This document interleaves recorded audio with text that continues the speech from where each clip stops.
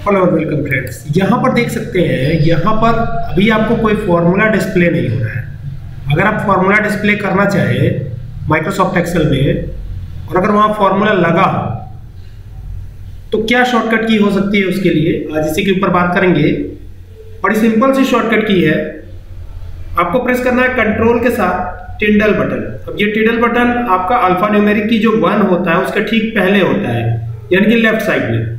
तो आप कंट्रोल और टिडल बटन प्रेस कीजिए और आपके सामने जो फॉर्मूला है वो आपको दिखेगा। केवल और केवल फॉर्मूला आपको दिखेगा।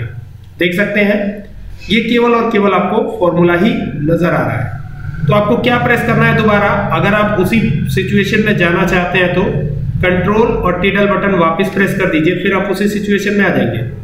तो ये देख सकते हैं कि यही फॉर्मूला इसमें लगा हुआ है, ठीक है?